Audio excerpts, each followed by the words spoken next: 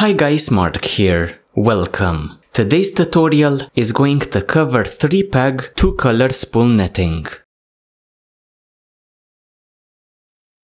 For this sort of knitting, you're going to need a 3 peg knitting spool as well as two cords in different colors. To begin, we set up our spool. Grab two ends of your cords, pass them through your spool.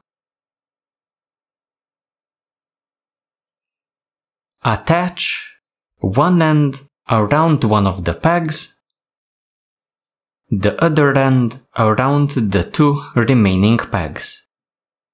Like this. So this is our initial setup. We continue here at the bottom.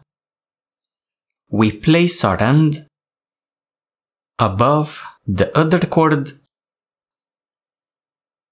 and slide the bottom cord over the top one. Rotate clockwise to the next peg. Grab your end. Place it just above the other cord. Slide the other cord on top of the top end. Again, simply rotate to the next peg. Grab your end. Place it just above the other cord. Slide the bottom cord over the top end. For now, pull a bit on these two short ends here just to lock everything in place. Then continue the same way. Rotate, place your end, slide the bottom cord over the top one. Rotate, place your end, slide the cord over the top one. Rotate, place the end, slide the bottom cord over the top one. So, all we're doing is repeating this process for quite a while, depending on the length that we want. Rotate,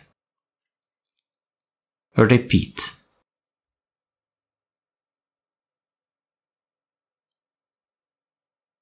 Rotate,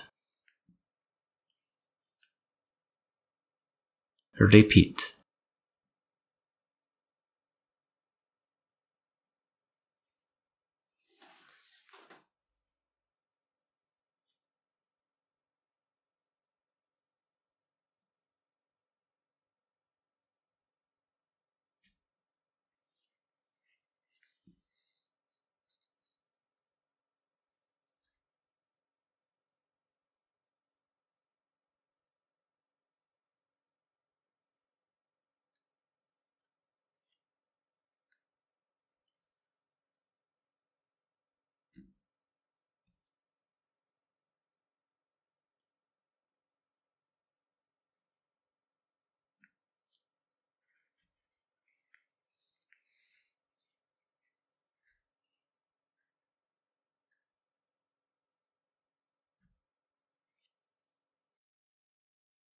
To finish up, simply remove your netting off of your spool.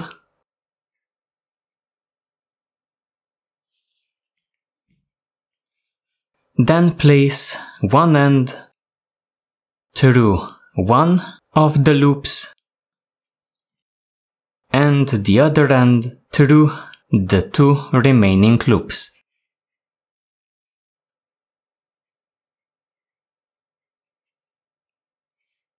Pull on both of them, locking your knitting into place. Then stretch out your knitting for an uniform result. And there you have it. So guys, this concludes our tutorial. I would like to sincerely thank you for joining me, and I hope to see you in my future videos as well.